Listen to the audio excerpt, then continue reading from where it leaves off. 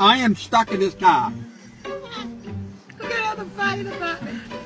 Sit back, sit back. Mom, what do you think I'm doing? Laying down? You gotta sit back.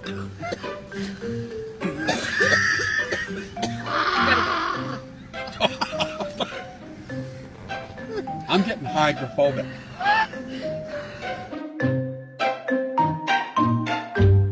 Me in here. You gotta get your arm underneath it. I don't know how. It's gonna I have to be can't do cut. that, Mom. Mom, look. How do I get an arm in there, Kelly?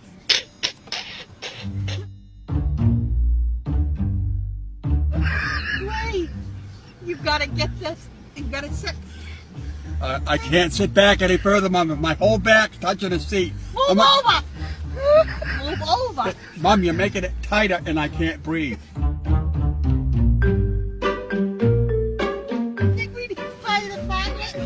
Something wrong with the seat belt. It's helping a circulation.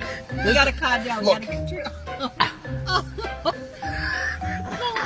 I don't. You, put me in here. Wait, wait, wait. I gotta get under control.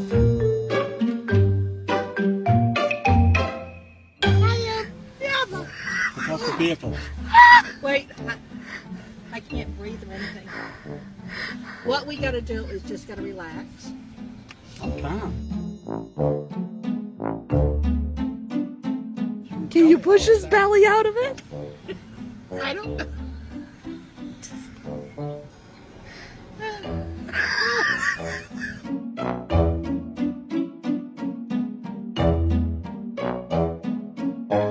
Taking his car back to whatever his name is, Reggie or whoever his name is. Puffy Darling. Uh, I don't know what you're gonna do, Clint. Well, you tell me, Mom. Because you're getting upset. No, I'm not upset.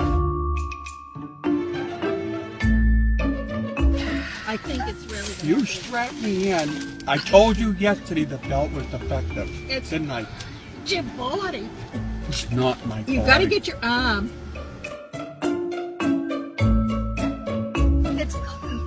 At you, look. You look at me. I am stuck in this car. We're gonna have a about it.